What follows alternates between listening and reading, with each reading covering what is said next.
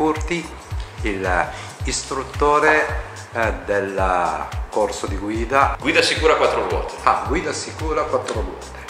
Benissimo. ASC, guida sicura. ASC. E che faremo? Ma sai, adesso io ho ricevuto da uno dei miei clienti, c'è scritto, ciao a tutti, ho visto la vostra locandina, vorrei fare un regalo a mio figlio e a me, iscrivendo lui al corso guida sicura e sottoscritto al corso di fotografia, cioè papà e figlio e che partecipano, figlio corso di guida, questo è molto interessante, ma molto interessante perché io cioè no, 50 anni no, 45 anni che guido, cioè Certo. così cioè svero è che io prima di avere patente già guidavo e guidavo malissimo, nel senso Anch'io. eh, però il primo pensiero dopo il corso che ho fatto, se io avessi imparato dal primo istruttore è una guida posizione corretta, cosa devi, cioè quelle 4-5 cose fondamentali da sviluppare, mantenere. Bene, e quindi corso di guida Stefano Curti, che è bravissimo insegnante non solo sulla, sulla strada e è molto bravo a parlare, insegnare anche con le parole. Quindi, Allora, guarda, hai, hai preso, hai toccato un argomento eh, molto frequente. Ieri abbiamo fatto un corso, un corso eh, di guida sicura ai, ai privati, quindi non alle aziende, un po' come quello che faremo, che faremo assieme. E c'erano tanti partecipanti, padre, figlio, padre e, e figli, o padre e figlia. E, sempre più capita che appunto che i genitori scrivono i figli e poi vengono anch'essi a fare, a fare i corsi perché ci tengono alla sicurezza appunto dei, di, chi, di chi da poco ha preso la patente e dovrà affrontare tutto quello che può capitare per strada. Ci si rende conto facendo un corso che eh, l'utilizzatore medio di auto non è preparato a nessun tipo di eventualità che può accadere per strada, nemmeno una semplice frenata di emergenza.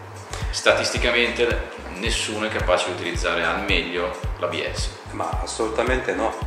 E cioè, e l'abbiamo visto insieme, cavolo, io ho fatto, avrò fatto 20 volte ripetutamente. anche, anche 40. Sì, Sì. e in effetti normalmente poi sai, no, cioè, mm, non ti capita quasi mai di schiacciare fino in fondo. Poi quando freni da buon guidatore risparmiatore cerca di frenare piano piano no, per non eh, consumare le pastiglie. Ed è proprio lì che consumi di più le pastiglie. Oh cavolo. Si ovalizzano i dischi, sì. le frenate lunghe molto morbide, Mm. autostradali tendono a surriscaldare di più il disco che è una frenata un po' più, Certo. più secca. Ah ok, Ad ogni modo è meglio spendere e certo. Vabbè, 200 euro più in una vita Certo. per pastiglie dei freni che non, Certo. non riuscire a spendere magari. Mm.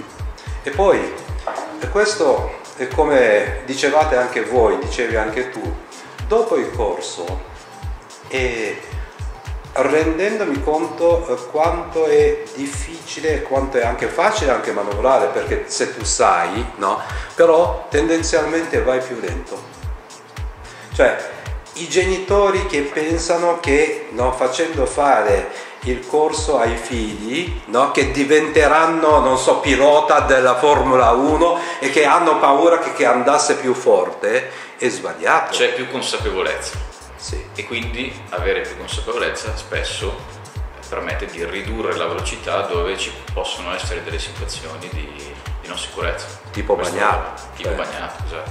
Molta gente va come dei pazzi sul bagnato perché non, non ha idea di quello che può accadere. Dopo che hai provato a fare qualche testacoda con la macchina sul bagnato, Certo. probabilmente, sebbene più pronto e formato a quel tipo di, di emergenza, ma in ogni caso comunque chiunque riduce la velocità sul bagnato. In effetti oggi con jeans o un paio di scarpe, cioè spendono 150-200 euro ai bambini da Sì, 15 certo. anni, no? E un corso di guida che cioè, non, non riesce neanche a vestire dal, dal capo fino in, no? E che servirebbe, servirà tutta la vita, tutta la vita. Guarda, io lo, dico noi in realtà, lo diciamo un po' tutti i nostri allievi, un, e non, un corso di guida costa meno, attualmente oggi costa meno di un paraurti di una macchina, di un semplice paraurti di una macchina. Questo è un paragone fantastico. No, non entriamo poi Certo, nelle spese degli altri ricambi, fari, radiatori, Certo. scocche, cofani, carrozzeria. Prendiamo solamente l'idea del paraurto inverniciato, oggi la macchina è fatta apposta per assorbire comunque, fa parte dell'energia dell'urto, quindi sì, e quindi è normale che è facile che diventi una macchina da buttare. Sì, sì, sì, è facile.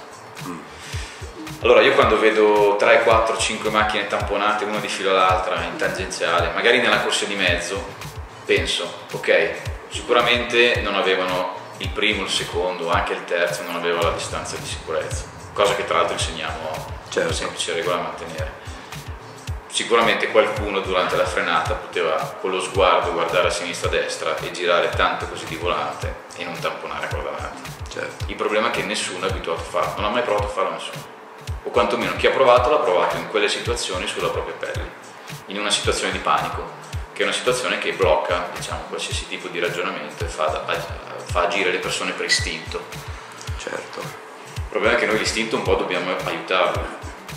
certo. Dopo 10 volte, 15 volte, 20 volte che io ti faccio evitare un muro d'acqua usando l'ABS, quindi eh, utilizzando il 100% della forza dell'impianto frenante, istintivamente se ti dovesse capitare e statisticamente succede che eh, chiunque che è uscito dai nostri corsi prenda il volante e, e lo, e lo giri, perché non sempre c'è lo spazio di frenata davanti, da- davanti a noi. eh. Quello che ero sorpreso è che nonostante quella frenata pazzesca, la macchina non perde eh, controllo. No, è fatto apposta.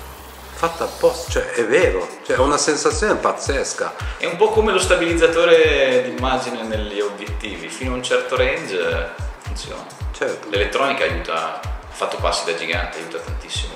Certo. Però anche quella bisogna saperla usare. e in effetti non avevo assolutamente idea di poter dover schiacciare così tanto perché poi dopo aver schiacciato 20-30 volte cioè tutti abbiamo avuto un po' mal di schiena Sì, un pochino, può succedere. Perché sì, un po' fuori allenamento però.